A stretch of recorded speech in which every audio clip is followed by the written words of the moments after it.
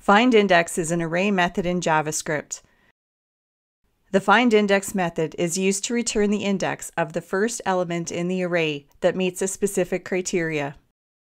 Please note that the first element of an array has an index of 0, the second has an index of 1, and so on. This will be important for understanding the index value that findIndex returns. To illustrate how the findIndex method works, let's look at a few examples.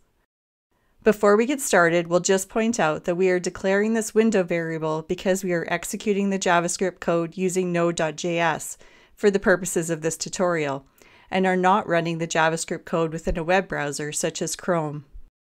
We'll start by declaring an array object called TOTN array that has five elements, negative 10, negative 5, 0, 5, and 10. Next, we'll create a callback function called greater than zero that will be used by the find index method.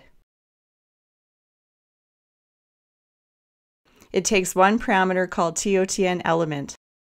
It is within this function that we will test whether TOTN element is greater than zero. We'll write the output of the find index method to the console log. We will then invoke the findIndex method of the TOTN array variable to test each element value using the greater than zero callback function. Now let's execute our JavaScript code to see what results we get. In this example, the findIndex method has returned the value 3. Since the first element in the array has an index of 0, a value of 3 represents the fourth element in the array. The value at index 3 of the array is 5 and is the first value that meets our criteria of being greater than 0. Next, let's look at one more example that uses the optional parameter called this parameter. In this example, we will declare an array object called TOTN array that has four elements, tech, on, the, and net. But this time we will also declare a second variable with the string value of the element being tested is. We'll use this variable as the this parameter when we invoke the findIndex method. Next, we will create a callback function called contains and char that will be used by the findIndex method. Similar to the previous example, it takes one parameter called TOTN element. Within the callback function, we'll write the value of this variable followed by the value of TOTN element. We will discuss the this variable later in this tutorial. Next, we will test whether the TOTN element contains the letter N.